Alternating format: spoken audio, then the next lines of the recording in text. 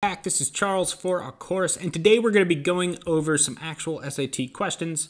Um, and these are going to be utilizing the techniques we've worked on uh, in the previous videos on verb tense, subject verb agreement, and modifiers. So if you haven't checked those out, please do so. I'll make sure to uh, put the links in the description there.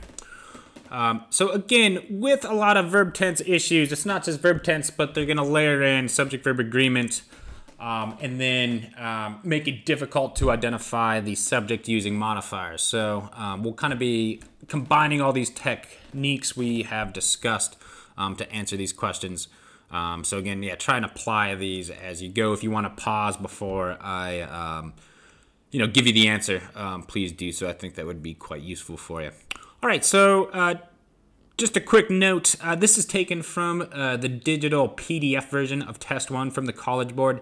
If you're doing the Bluebook version, it might be slightly uh, different um, because the Bluebook version is adaptive, uh, where the PDF version is obviously just set. So if you want to follow along at home and do these, um, you know, just make sure you're using that PDF version. Okay, so this is taken from uh, Module 1, and this is question 23. So, in 1637, the price of tulips skyrocketed in Amsterdam, with single bulbs of rare varieties selling for up to the equivalent of 200,000 in today's US dollars. Some historians blank that this tulip mania was the first instance of an asset bubble which occurs when investors drive prices to highs not supported by actual demand. So the first thing, uh, you know, when you're doing these on, you know, an entire practice test or, you know, the real test, uh, you know, these are going to be intermixed with uh, different question types. You look at your answer choices and you see claiming, claim, having claimed, and to claim, you think, okay, clearly this is a verb tense question. So we now look at the passage, and you're looking for sort of contextual clues that would help you identify which verb tense you need here. So the first thing you see is in 1637, and then you have uh, the past tense verb skyrocketed. Uh, you also see the word was and you think, okay, this must be past tense. But be careful. The SAT, you know, they're trying to trick you here. Um, and they, they do this a lot. Um, so don't just look at other verbs in the sentence necessarily, um, because sentences don't need to have uh, you know the same verb tense in them. And um, anybody that gives you the advice, uh, you know, just look at other verb tenses in the sentence, uh, you know, doesn't really know what they're talking about. So we look at this claim. Some historians blank. So yes, I mean the thing the historians are talking about happened in the past tense, right? It happened in 1637. But the claims the historians are making, right, is something that's true in the present. And for true statements of fact, we need just simple present tense. So it's some historians claim. Now, in this case, they don't have claim and claims, right? They just have one subject verb agreement uh, kind of conjugation for the simple present tense, so it's got to be claim. But obviously, historians are going to be plural, right? Multiple historians. Um, so yeah, it's going to be historians claim. If it was one historian, it would be, you know, this person claims, but in this case, we don't even have that option, so they've made it easy for us, so it's just our only option for the simple present tense. All right, looking at question 26, and again, this is taken from Module 1 of the Test 1 PDF version from the College Board. Okay, so the classic children's board game, Chutes and Ladders, is a version of an ancient Nepalese game, Paramapada Sopanapata. In both games, players encounter good or bad spaces while traveling along a path. Landing on one of the good spaces blanks a player to skip ahead and arrive closer to the end goal. Okay. Um, you know, I haven't yet made a video on punctuation. That will be coming soon. Now, if you look at uh, the part before the semicolon, the, the major use of a semicolon is to connect two independent clauses. Now, you can think of an independent clause as basically like a simple sentence. Um, so a semicolon is essentially like a period. Right, so in both games, players encounter good or bad spaces while traveling along a path. Okay, so in the previous sentence, you have the traveling along a path, and you think, okay, maybe I need the ing verb. But here, we're just talking another true statement of fact about the rules. So landing on one of the good spaces, um, we're talking about a rule here. It seems like, once again, we need simple present tense. However, we have some issues here. You will notice, if you saw the video on modifying clauses, we have a prepositional phrase, landing on one of the good spaces. right? So the subject here is actually landing. The act of landing is a singular subject. So we look at our simple present options, which are allows or allow. Because landing is a singular subject, the act of landing, so it is landing allows a player to skip ahead and arrive closer to the ending goal. Okay, so out of the first two questions, we have had two simple present tense um, answer choices, right? The first, uh, the first question, right, we didn't have any subject verb agreement issues in our answer choices. The second one we did. Um, but as I said, yeah, the simple present tense is going to be the most common. Um, you know, again, it's not always going to be the choice, but again, just, yeah, keep it simple when it comes to verb tense questions. Okay, let's now look at uh, Module 2. Okay, so uh, question 19. When writing The Other Black Girl, novelist Zakiya Dalila Harris drew on her own experiences working at a publishing office. The award winning book is Harris's first novel, but her writing blank honored before. At the age of 12, she entered a contest to have a story published in American Girl magazine and won. So, which choice completes the text? uh, so that it conforms to the conventions of standard English. Once again, we look at our answer choices. Clearly, this is a verb tense question. Okay, so the award winning book is. Um, so we saw an example of you know talking about literature on uh, the verb tense uh, video.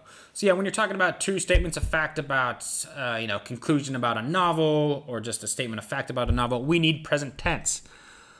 But we shift here. But her writing blank honored before. And you think, okay, we have before here. It's got to be past tense. Her writing was honored before. In this case, we don't have was. Uh, so the other thing, let's think about what the subject is here. Her writing. Okay, we have a singular subject here. Her writing right away. Okay, it cannot be were, right? Because were would be um, uh, a plural conjugation. Her writing have been, her writing has been, or her writing are. Okay, we need a past tense, so we're kind of stuck with were, have been, or has been. Because it is singular, right, it needs to be her writing has been. Um, so again, a good example, you know, even if you don't know, uh, you know, the names of the verb tenses, and honestly, I don't expect most students to um, know the names, um, you can use subject-verb agreements and just kind of your basic knowledge of you know past, present, and future tenses um, to eliminate answer choices, right? So yeah, her writing was. So in this case, uh, we don't have that option, so we're stuck with uh, kind of the past progressive there. So her writing has been honored before. Okay, looking at question 23. In his 1963 exhibition Exposition of Music Electronic Television, Korean American artist Nam June Paik showed how television images could be manipulated to express an artist's perspective. Today, Paik Blank considered the first video artist. Okay, so we've seen this on multiple questions, right? They have a lot of references to you know dates in the past, and a lot of students think, "Oh, I need the past tense," but we have uh, you know the the reference to the present. Today, clearly, we need present tense. Okay, we have uh, you know singular third person Paik. so it must be is right. It's not Paik will be, had been, or Pike was right. We need uh, that singular verb for uh, Paik in the present tense must be is. So uh, out of the last four questions, three of them have been uh, just simple tenses. As I said, 60 70% of questions just keep it simple, and especially that simple present. All right, our last example here. In order to prevent non native fish species from moving freely between the Mediterranean and Red Seas, marine biologist Bella Galil has proposed that a saline lock system be installed along the Suez Canal in Egypt's Great Bitter Lakes. The lock would increase the salinity and blank a natural barrier most marine creatures would be unable to cross. Okay, so this lock has not been built yet, right? And we see, okay, uh, we have the would here, so it's going to be a future tense. So the lock would increase, um, or the lock is going to, but we have would here. Um, it's kind of the hypothetical, um, not the lock will, but the lock would. So a lock would increase. Would applies to both verbs here. So it would increase and it would create a natural barrier. Now, if it if we didn't have the would, right, it would be the lock. You know, creates if it was already built. Um, clearly, it's not going to be creating or um, uh, created because um, you know those don't um, you know match with the idea that it's you know something that hasn't happened yet. So we just need yeah that simple present tense to combine with uh, the would. Okay. So, yeah, those are the five uh, verb questions and subject verb agreement questions um, that are on SAT Test 1. Um, so, again, you can see how modifiers and kind of all those time references and, uh, you know, especially the present tenses, or sorry, the simple tenses are very important for these types of questions. Uh, real quick, I just want to talk about one more question type. And this isn't actually um, a verb tense question, but it appears like a verb tense question if you look at the answers. And I just want to preview something we'll be talking about in a later video. This is actually a sentence construction, uh, and in particular, a participle phrase question. So, um, if you look at the answer choices, you have forces, to force, forcing, and forced, and they all look okay like different um, verb tenses, right? Uh, but if we read this, so in winter, the diets of Japanese macaques, also known as snow monkeys, are influenced more by food availability than by food preference. Although the monkeys prefer to eat vegetation and land dwelling invertebrates, those food sources may become unavailable because of, ex- of extensive snow and ice cover. Blank the monkeys to hunt for more marine animals in any streams that have not frozen over. Okay. So we're going to use some of the techniques uh, we worked on with modifiers. So we have an introductory clause here, right? Although the monkeys prefer to eat vegetation and land-dwelling invertebrates. Okay, so we can take that out. Our simple sentence here, the independent clause is, those food sources may become unavailable because of extensive snow and ice cover. Now you look, we have a comma now there's a few options. It could be connecting two independent clauses, but to connect two independent clauses, you need a comma and a fanboy. A fanboy is for, and, nor, but, or, yet, or so. We don't have the option here. Okay, so we know, okay, this is not a case of connecting two independent clauses with a comma. We then think, okay, it must be some sort of dependent clause. Um, so we think, how can we do that? Forces the monkeys to hunt for marine animals in any streams that have not frozen over. To force the monkeys to hunt for marine animals, forcing the monkeys to hunt for marine animals, or force the monkeys. Um, you can see our answer here is forcing, right? Uh, forcing turns this into a dependent clause, just sort of tacked on um, at you know the end of that sentence, and again participle um, kind of clause at the end of um, the independent clause, uh, the, those food sources. Um, so again, we kind of introduced uh, participle phrases in uh, the modifying videos. We'll talk more about that when it comes to um, sentence construction questions and also uh, punctuation questions. Uh, but just something to kind of keep your eye out for. Um, you know, you might have something that like this that appears to be a verb tense question, uh, but it's actually more of like how you construct the sentence and the punctuation and uh, word type you would need there with the the participle clause. All right, everybody, that's it from me today. I hope you found the video useful. As always, if you felt like you learned something, please subscribe so you can make sure to catch um, future videos. Uh, the next thing we will be discussing is uh, sentence construction, uh, which has a lot of overlap with punctuation.